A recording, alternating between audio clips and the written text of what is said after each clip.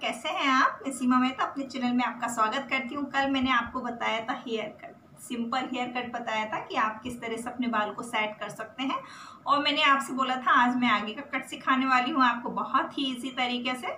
तो आप आ, मुझे काफ़ी सारे कमेंट्स आए थे जब मैंने पहले फ्रंट कट सिखाया था कि मैम शायद हमारा हेयर कट अच्छे से हुआ नहीं। आपने जो बताया था हमने वही किया फिर भी हमारा कट अच्छे से नहीं हुआ। तो अभी लॉकडाउन है और बालों का सेटिंग एकदम ख़राब हो गया है। तो जिनके आगे से फ्रंट बाल कटे हुए हैं, आज उनके लिए वीडियो लेकर आई हूँ। तो चलिए वीडियो स्टार्ट करते हैं। उसके पहले अगर आपने मेरा चैनल सब्सक्राइब नहीं किया है तो प्लीज़ कर दीजिए लाइक शेयर कर दीजिए और घंटी का बटन ज़रूर दबा दीजिए। तो चलिए फ्रेंड मैं बहुत देर नहीं करती हूँ। मैं आपको फ्रंट कट की ओर ले चलती हूँ। तो सबसे पहले तो आपको जितने अपने फ्रंट में बाल कट करना है, वो आप बाल निकाल लीजिए। मुझे, ये देखिए बिल्कुल आपको अपने एक इक्वल बाल निकालने हैं, कम, ज़्यादा बिल्कुल नहीं निकालने हैं, ठीक है? ये देखिए आप यू शेप में निकालने हैं और आपको। बहुत इजी तरीका बता रही हूँ मैं आपको कट करने का।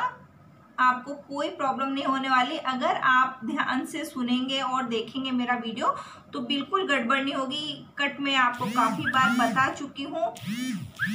ठीक है? अब आपको क्या करना है?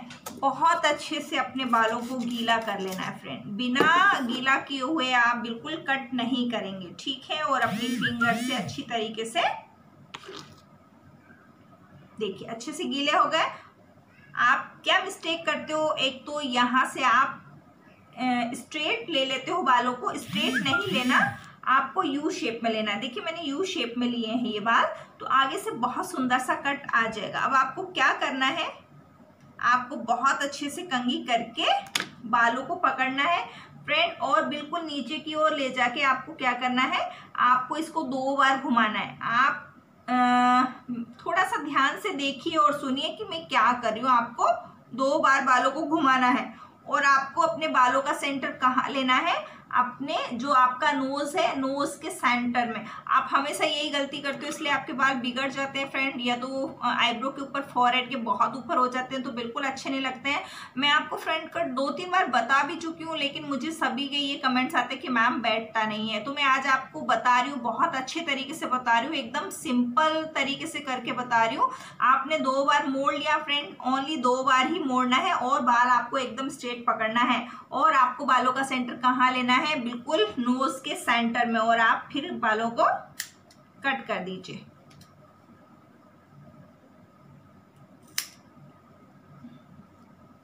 ठीक है? स्ट्रेट कट ही करना है।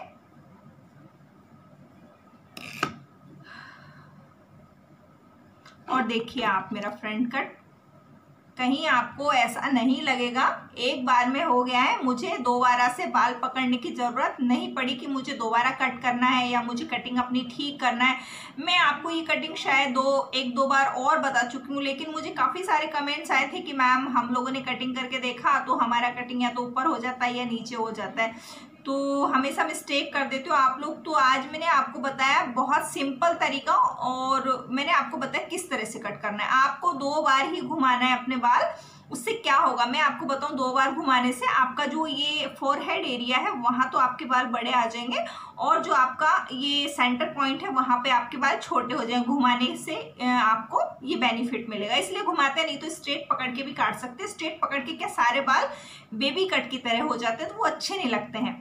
तो मैं आपको बताया फ्रंट कटिंग तो फ्रंट कटिंग आप इस स्टाइलिश कटिंग अगर आपको करनी है तो आप इस तरह से कीजिए।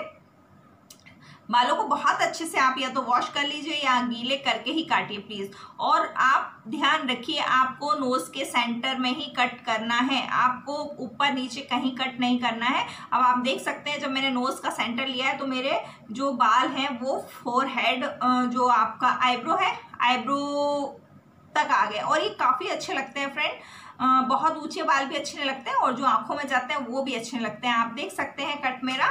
कितना आसान है, एक बार में कट गया, मुझे दोबारा काटने की ज़रूरत ही नहीं पड़ी। आप दोबारा से ट्राई कीजिए फिर मुझे कमेंट बॉक्स में लिखिए प्लीज़ मैं बार बार आपसे बोलती हूँ कि आपको किस तरह से कट करना है, आपको अच्छे से बालों को गीला करना है और नोज़ का सेंटर ही लेना है आपको आपकी। आपकी जो भी नोज़ है उसका सेंटर पकड़ के ही आपको काटना है।